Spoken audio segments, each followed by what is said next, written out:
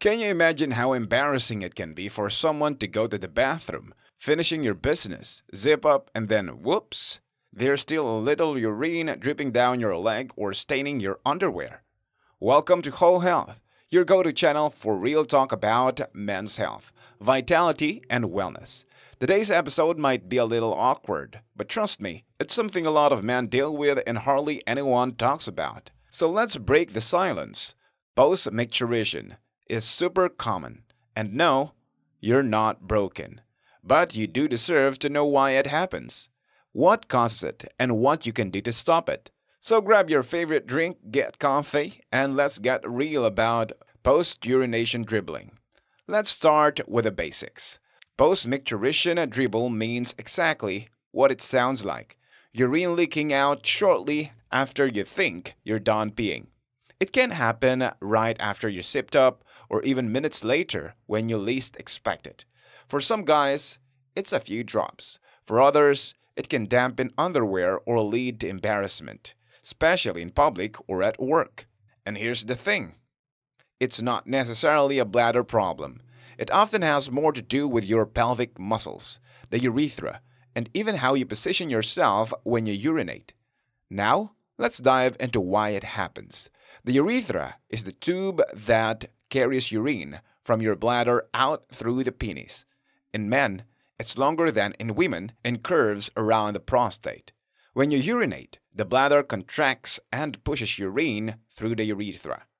After you're done, the urethra is supposed to be empty.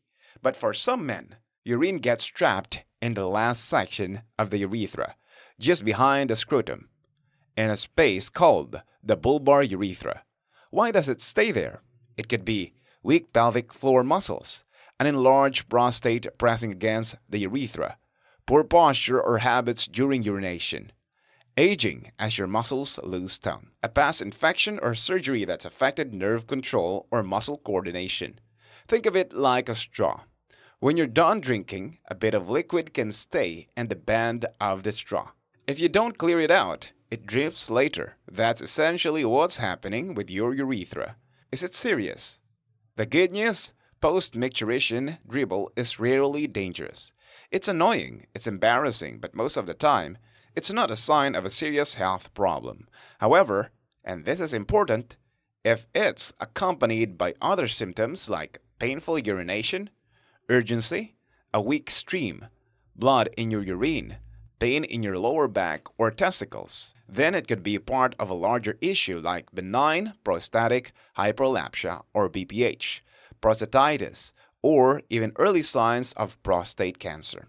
So always talk to your doctor if you're unsure or if symptoms get worse. Here are the top risk factors for urine dribbling after urination. Number 1. Age. As you get older, your pelvic muscles weaken. Your prostate may enlarge and nerve signals may slow down. Number 2. Obesity. Belly fats puts pressure on your bladder and pelvic muscles.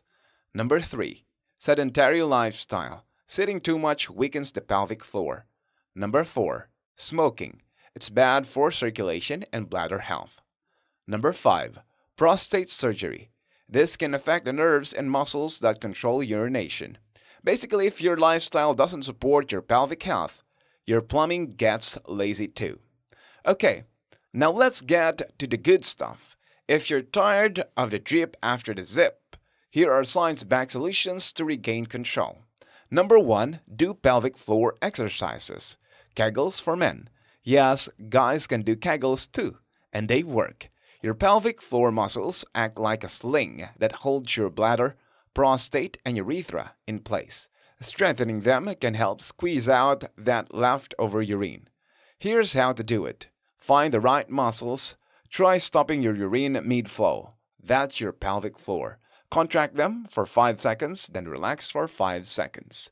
Repeat 10 times, 2 to 3 times a day. Pro tip, don't do this while urinating long term. It's just a test. Constantly interrupting flow can actually cause problems. Number 2. Milking, the urethra technique. Some men use this technique to manually push out trapped urine. After peeing, press gently behind the scrotum, perineum. Then slide your fingers toward along the urethra toward the tip of the penis. Do this before pulling your underwear back up. It might sound weird, but it helps clear out what's left and can dramatically reduce dribble. Number 3. Sit down to pee. Not every guys want to hear this, but sitting down allows better bladder emptying, especially if your muscles are weak or your prostate is enlarged. It also helps you relax your pelvic muscles, important for full drainage. Number 4. Stay active. Physical activity boosts pelvic circulation and muscle tone. Every 30 minutes of brisk walking a day improves bladder control, according to the Mayo Clinic. Number 5. Avoid constipation. Straining to poop out puts pressure on your pelvic floor, making urine dribble worse. Eat more fiber, stay hydrated, and don't ignore the urge to go. When to see a doctor? If you've tried all this and you're still having trouble, or if you're over 50, it's smart to talk to a urologist. You may need a prostate exam, a bladder ultrasound to check for residual urine, a urinalysis to rule out infection, or even a uroflow test to see how well you're emptying. There are also medications and non-invasive procedures that can help depending on the cause. Here's a sample daily routine to help eliminate post-pee dribbling.